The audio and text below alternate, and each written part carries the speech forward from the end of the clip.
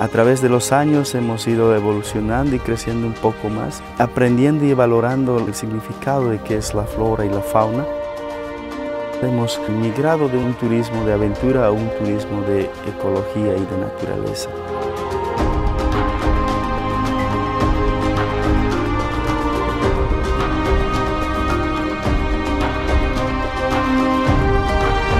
Conserving nature is very, very important for our next generation. And I think uh, has done a great job in, in doing that.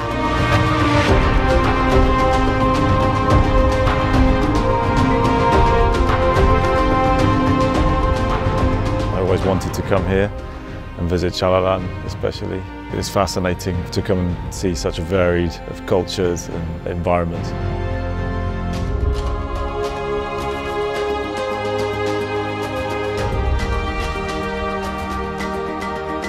Eu vejo que é aqui em Bolívia há essa preocupação de se trabalhar o turismo comunitário em las áreas protegidas.